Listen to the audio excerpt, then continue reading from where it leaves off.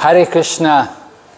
I just want to take this opportunity to remind you that it's coming closer to our most important event of the year, Krishna Janmastami.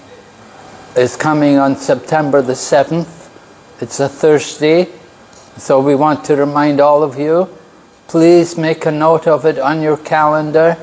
And we want to see you all here. We want to have a nice crowd for the event and make a big success of this Janmastami. It's, it's the most important day of the year.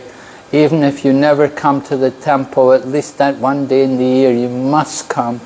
It's so important. Come and get the blessings of Lord Krishna on that very auspicious day of Sri Krishna Janmastami.